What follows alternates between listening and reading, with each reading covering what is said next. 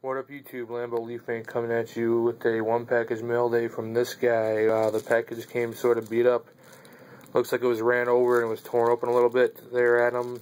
Um, also, the outside cards here, this is ripped. So I don't know what order these came in. I've yet to open the booklet or anything, but um, I don't know if these are the, even the order they came in. I got a Prizm of Joakim Noah. Eddie Lacy Ultimate Rookie, which is awesome. My first Eddie Lacy card. Uh, 525. There's a note. Said like yeah, I got a good deal on something. And uh, this pretty sick promo out of 4.99 of uh, Chris Sale. I think it was for Nationals uh, promo. XXX out of 4.99.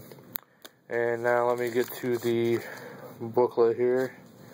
You have to open it. I'm trying to do this one-handed.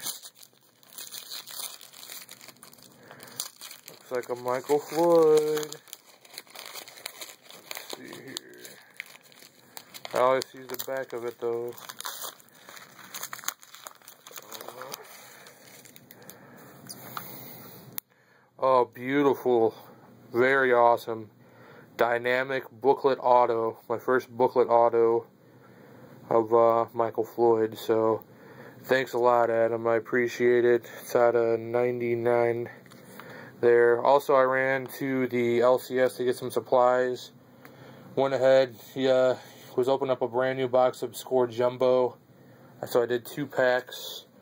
Didn't do all that great, but uh, did get for my PCs Jonathan Franklin, a uh, Tyler Eifert,